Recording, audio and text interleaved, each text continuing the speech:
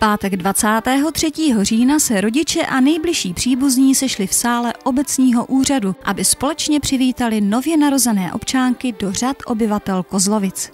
Jednalo se již o druhé vítání občánků v letošním roce.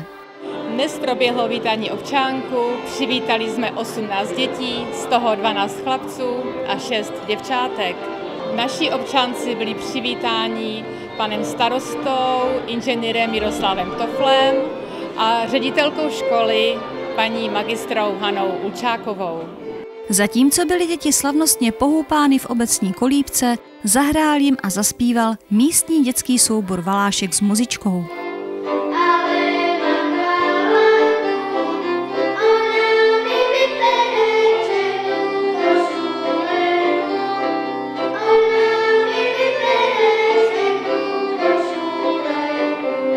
Po podpisu do pamětní knihy Kozlovic dostali rodiče od obce malý praktický dárek pro své nejmenší.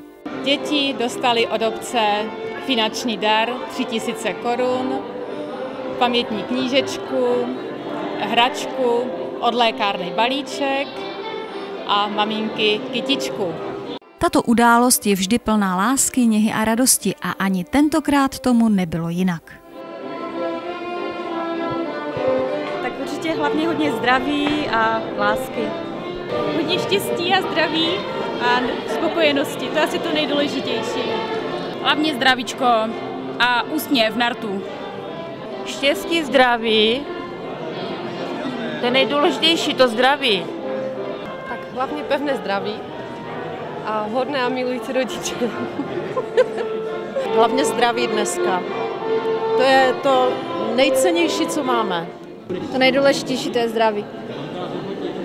A ty hodné rodiče ty už má. Novým občánkům Kozlovic i my přejeme mnoho zdraví, životních úspěchů, štěstí a lásky. Z Kozlovic Eva Ilková.